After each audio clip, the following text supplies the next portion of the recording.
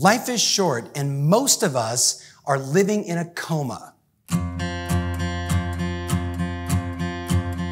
I say that not to, you know, not to have you, you know, get depressed, but I want you to think about it like this. Like, are you really, re- like, when you pass away and you go to wherever you go, you with me? Or on your deathbed, and you're sitting there surrounded by hopefully your friends and your family and your loved ones and your kids and your grandkids and whoever else, right?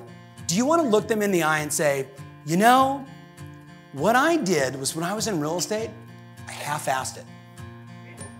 And it was great. I mean, I drank every day at noon, never learned anything about my CRM, complained about no listings all the time, made just enough money to not have to go get a job. But, you know, here I am. And I recommend the same for you. Would you say that to your grandkids or your great grandkids?